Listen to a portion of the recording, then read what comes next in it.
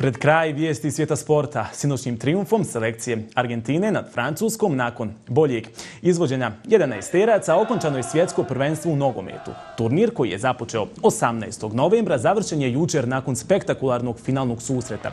Vrijedi istaći da je upravo takva bila i organizacija samog događaja najvećeg u svijetu sporta. Na kraju su se ipak mogli radovati navijači samo jednog tima, dok su drugi u tišini napustili stadion. Spomenimo i da je nakon završene utakmice u Francusku Francuskoj uhapšeno ukupno 227 osoba zbog sukoba poslije finala svjetskog futbolskog prvenstva u kojem je Argentina pobjedila Francusku.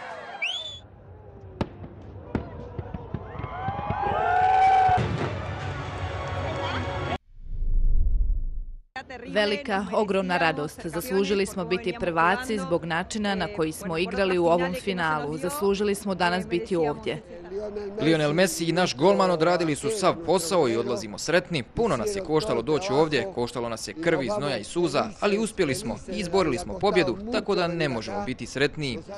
Kasno smo se vratili u meč, a ja mrzim penale. Mislim da francuska momčad općenito ne voli penale, a ova večer nije bila iznimka, ali tako je.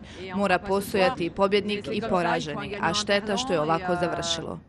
Nemam više glasa, ne mogu vikati, njihovi navijači viču preglasno, gotovo smo ih umirili na kraju. Nažalost, bolje bi bilo da se šutiralo na gol koji je na strani naših navijača, ali sve u svemu ovaj turnir je odlično iskustvo.